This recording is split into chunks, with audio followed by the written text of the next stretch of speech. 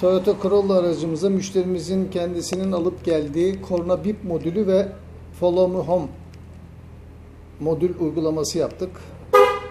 Kapıları kilitledim, bir bık yaptı.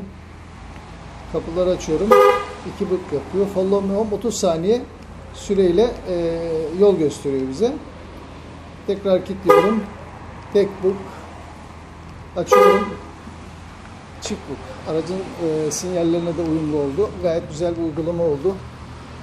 Toyota Corolla aracımıza Home modül uygulaması yaptık. Kendisinin alıp geldiği modülü montajını yaptık. Siz de bu tür modülleri alır gelirseniz bize montaj uygulaması yaptırabilirsiniz. Video altındaki iletişim bilgilerinden bizimle bağlantı kurabilirsiniz.